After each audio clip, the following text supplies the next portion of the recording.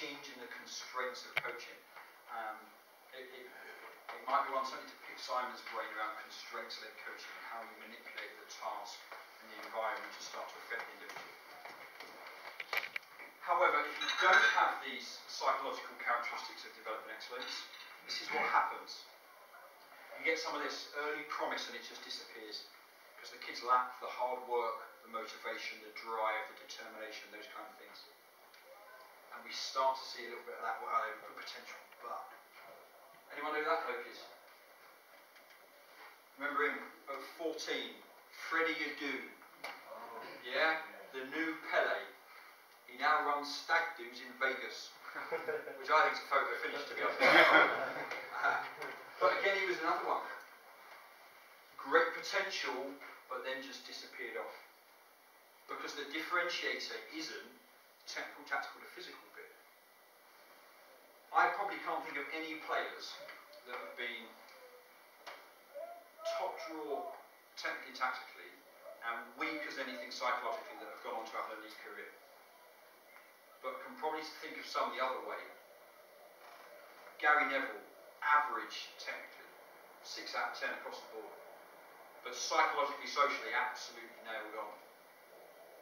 So you can have a career if you're absolutely solid on that side, but probably not struggling with it. Then we get different types of kids. And it's important we start to understand different types of kids. Because the creative ones are often the ones that we're first to get rid of or that give us the most problems. These are the kids that actually um, they have a, a greater range of emotions.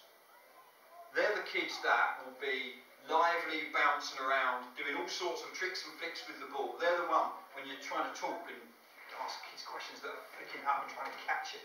They're the ones that give you grief like that that they'll either be high as anything or an absolute nightmare and ruin every session.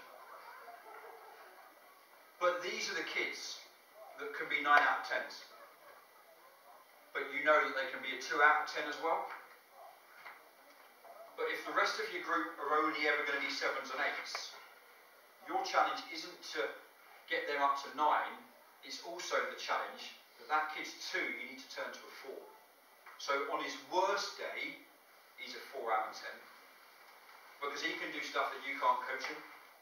All the kids that I think of now, the most creative kids that I've worked with in professional clubs, I've not coached any of those kids to do what they do. It's from a whole host of different places, from messing around with a ball, from playing FIFA Street, from doing all sorts of stuff with kids. We had a kid that I used to work with called Jack, who, when I start, I start the session, uh, they're working in pairs, and I would just get them to teach each other tricks Just go and make stuff up and teach it. And in the, uh, the, the Ronaldinho flip flap where he kind of takes it one way and hits it the other very quickly. Jack was trying to work out if he could lift the ball in the air and do it when it was in the air. Um, so him, him and one of the others were, were, were messing around doing it. And we had a game straight after. And I said to him, the only condition is, yeah, if you do this here, you've got to go and do it again. It's the only condition on that. And he said, really? I said, yeah, absolutely. Uh, got into the game, and I can still picture the moment I sat there on my chair, because I used to sit and watch. Uh, and, and he's literally kind of driven across and squared up this kid, and he's literally just gone, and the kid's gone like four steps that way, and he's off with the biggest smile you've ever seen on his face when he did it. We had another kid in the same game, literally right in front of me, who wanted to do a rainbow flip, you know, you flick it over your head and over theirs escape to victory, does the Ardiles stuff. Um, literally, he, he just got it all wrong, gone way too fast into the kid and literally just muddered it. but that's what we want. We want that creativity and chance for the kids to express themselves. But you have to recognise that creative people are different. People talk about mavericks. Mavericks for me is a, is a load of nonsense as well. They're just different types of people. Just on that, would you have encouraged him to do that if he was a centre half? Absolutely, why not? Yeah. I don't care if he used the game football, he was 10. But he might not always be a centre half. In five years' time, he could be a centre forward or a winger.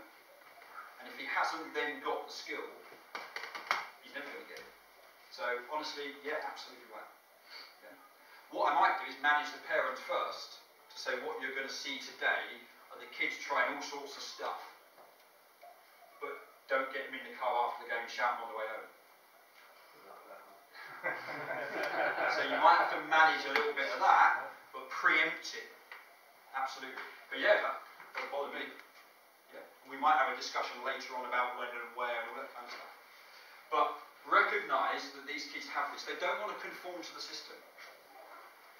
But this is where the new ideas come from, when they do these kind of things. But, as I said, your view of the world as an adult will be different to theirs. You'll have values and beliefs that you can't do that as a centre half on the top of your box. In their, ad, in their head, they're thinking, well, why not? Let me have a go. So absolutely recognise some of this.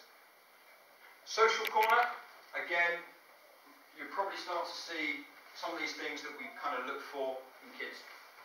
Um, in August, we had three under 15s England camps. And uh, kids come in on a Monday morning, uh, training in the afternoon. End of the training session. On the side of the pitch with me was doctor, physio, uh, sports scientist, kit man, uh, sports psychologist and me, six of us still inside the pitch. Session finishes, kids all come wandering in, all the staff run on, start picking up all the equipment. We get into the team meeting at the end of that night, and the first thing I said is, what are you doing? It's their toys, don't pick them up. Because what I'm interested in is who takes responsibility, who shows some leadership skills and organises the other kids to go and get it sorted? Who sacks it off and comes in and does nothing? That's the stuff I'm interested in doing. And manipulating the environment to start to see who takes that leadership role. Arguably, it's one of the discussions we're having at the moment in the senior team. We, we lack leaders in that team. But if we're not developing these skills in kids, we probably can't expect them in the long term as well. So how do you go about this? Simple things for me, and it pains me whenever I go and see football, grassroots or, or academy football, under 16s, under 18s, who takes the warm up? Who takes your warm up on Saturday morning, Sunday morning? You do it? Kids do it. Kids do it. Let the kids do it. 16, 18, they've probably done GCSE PE. They've done a warm up with you for the last eight years. Probably know what it looks like. My under 10s, within probably six weeks, so you warm up yourself. This is what it looks like, three phases, boom, boom, boom. Here's the ball's been, off you go, sort it out.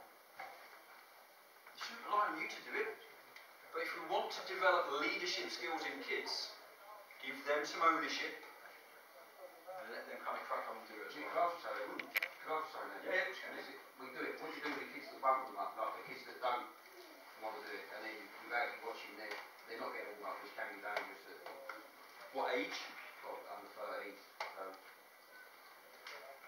I would probably give other kids responsibilities to make sure that they lead their mates, for starters. If you want to play today, you do it, you lead it, give them some responsibility as well. But the more stuff from their peers by that stage will affect them as well as rather than you just barking them. I always kind of think, well, what would happen if you weren't there? Would they all just stand around and do nothing? what happens if you're not there, so give them some responsibility.